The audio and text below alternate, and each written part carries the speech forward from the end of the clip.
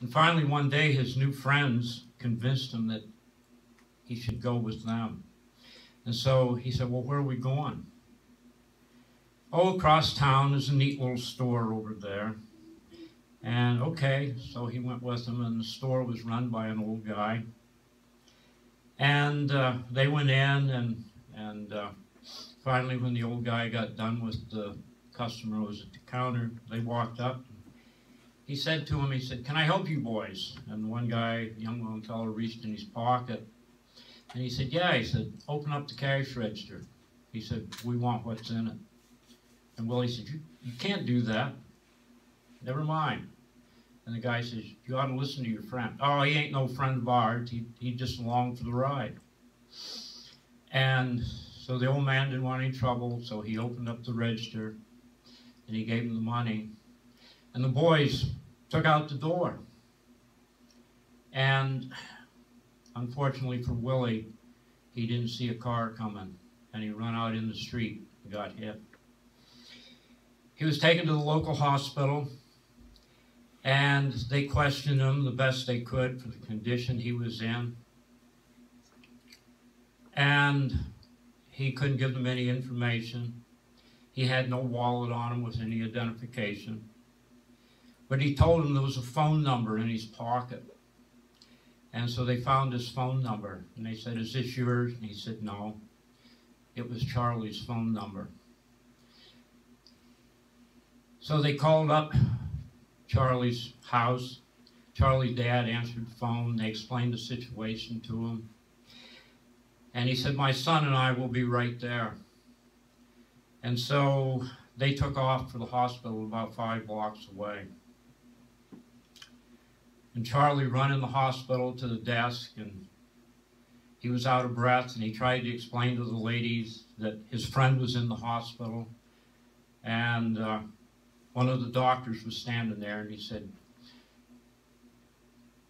You with this fellow's friend? And he said, Yeah. He said, Come with me. So they went in. And Willie's laying on a gurney.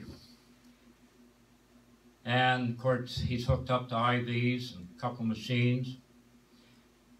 And uh, the doctor said, I'll, I'll give you a few minutes. He said, We've got to get him to surgery. And so Charlie walks over and he looks at Willie, and Willie opens his eyes and he said, You made it. He said, Yeah.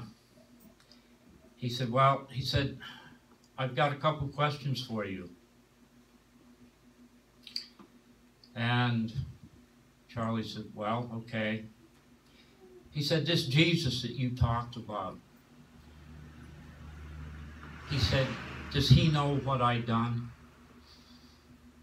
And Charlie said, Yes, he does. And he said, Will he forgive me? And Charlie nodded yes. He said, He'll forgive you. Well, what must I do? And Willie's hand was there, and Charlie reached up and took his hand, which was cold and clammy. And he said, Repeat after me. And he said, Lord Jesus, he said, I'm a sinner and I've done wrong. And I ask for your forgiveness. And Willie repeated them words. And then Charlie said, Willie, will you accept Jesus Christ as your Lord and Savior? And Willie nods and he says, I will accept Jesus as my Lord and Savior. The doctor came over and he said, Son, he said, I got to ask you to leave. He said, We've got to get them surgery. So they took him to surgery. And Charlie went with his dad and they sat in the room and they prayed. And about 45 minutes later, the doctor walked in and Charlie knew by the look on his face that the news was not good. And he walked over and he put his hands on Charlie's shoulders, and the tears were starting to well up in Charlie's eyes. And the doctor said, I'm sorry to tell you, he said, your friend had lost too much blood, and there was nothing more we could do. he's gone. Charlie, fighting the tears, said, No, he's not. And the doctor said, Yes, he said, He's not here anymore. And Charlie looked at him and he said, Doctor, he said, physically, he said, I know he's not here. Spiritually, he is still here. Because he said, now he is where there's no more crying, no more tears, no more sorrow, no more pain, no more death. For all them things are passed away.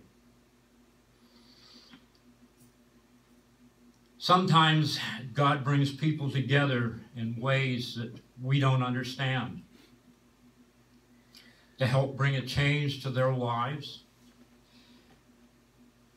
In this case, I think God brought Willie into Charlie's life to give him a better understanding of what a Christian really was and a better way to live.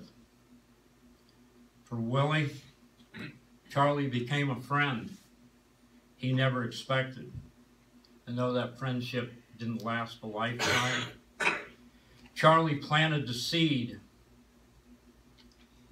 that gave Willie the victory in the end. We never know what an act of kindness or a word of encouragement can do to someone it can change their lives. Thank you.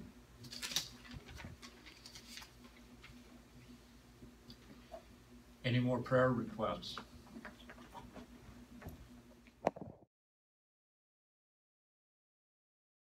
And may each and every one of you be blessed with a fantastic week ahead.